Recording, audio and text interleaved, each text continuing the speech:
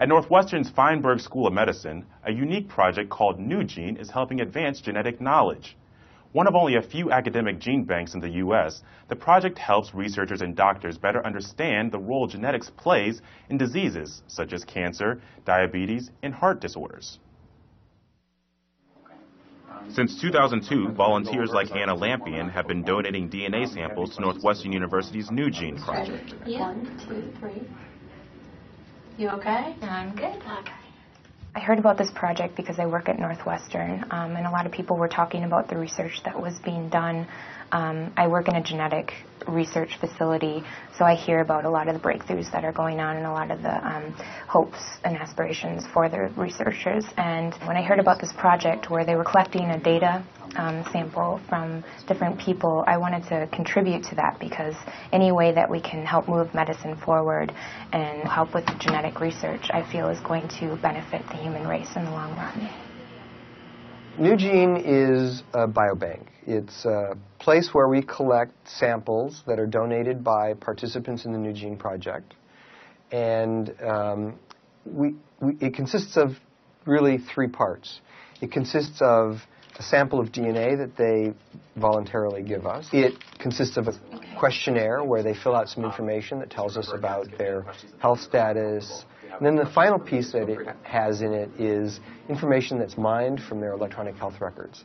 What we really want to be able to do is use that information to help predict what diseases you might get, to identify whether or not a particular drug might work in you, um, and to think about how we can better treat people based on a better understanding of what the genetic basis of their disease is. Currently, there are 7,500 volunteers participating in NuGene. Wendy Wolf, director of the project, hopes to raise that number to 10,000 by the end of 2008. When we launched the project back in 2002, it was a, a fairly uncommon uh, project. It's becoming more commonplace. I think a lot of institutions and researchers are recognizing the value for this type of research in enabling genetic research to move forward towards improving patient care. Participation in the project is very easy. It takes, you know, 20 to 30 minutes tops. You come into the hospital, you can make an appointment with a research coordinator. They'll sit down and talk to you about the project. You'll fill out an informed consent form explaining what participation in the study entails, which is essentially a single blood draw and agreeing to grant um, the project team access to the medical record information um, from your care at the hospital. And that's essentially it. Once the blood is drawn, it's taken to a central processing lab where the volunteer's DNA is extracted, providing a wealth of information. Dr. Nadra Jafari is the director of the core facility. We play a very important role in that project. Our role is to make sure that the DNA is extracted in, in a correct way, in a timely manner, at a high quality, and reliable for investigators to use. To ensure the confidentiality of participants is maintained during the process, NuGene uses barcodes to identify volunteers' medical information in DNA samples. No names, social security numbers, or birth dates are used.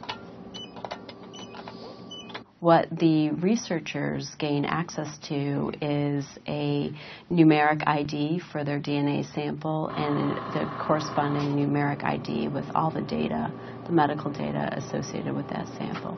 And that's all people can gain access to as part of making use of the resource. We have policies that uh, we will not grant access um, to samples or data by insurance companies or um, other organizations that we feel might be concerning to our participants. In the end, after extracting DNA, this is our end result here. And this small volume can help hundreds of researchers with their projects and their experiments. The DNA is then stored in freezers and ready for researchers to use. For Margaret Urbanek, assistant professor at the Feinberg School of Medicine, the DNA and medical information made available by NuGene for patients that have diseases and those that don't is both helpful and cost effective for her research. NuGene helps us in multiple ways. On the most basic level, it helps us by providing controls or unaffected people for our genetic studies. In the past, we used to have to recruit those ourselves, and it would add to the length and the cost of the study. Now we can just ask for these samples, and they're available. We can share them among multiple investigators, so there's less duplicated effort both at recruiting the samples and also since we're often using the same way of measuring genetic information, that information can be shared among um, individuals using specific subjects as controls, so we don't have to duplicate that, and that can save us thousands of dollars. So far, NuGene has been used to support studies that will help research in areas such as heart disease, cancer, diabetes, and diseases of the nervous system. Project Director Wendy Wolf is optimistic that based on NuGene's contributions to genetic research, the project will continue to grow. We're hoping in the next couple years it will you know, double in size and become even more useful for the scientific community. I think our ultimate goal and why we're all working so hard in this area is really to see the advances from basic genetic research improve human health. Dr. Rex Chisholm believes that's already happening. With the valuable genetic information provided by projects like NuGene, the way medicine is practiced is starting to change. It's not fantasy. There is an FDA approved uh, kit called MammaPrint, which actually uses 70 different genetic markers to predict whether or not a breast cancer is likely to be recurrent or not. So already today, this kind of information is changing healthcare, and I think this is just the tip of the iceberg.